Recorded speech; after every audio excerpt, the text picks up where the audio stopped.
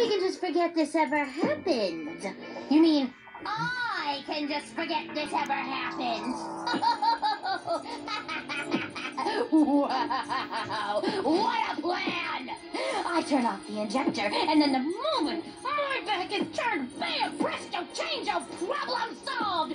Well, think again. You're not getting rid of me that easy! It's all the truth. That was for ruining my wedding.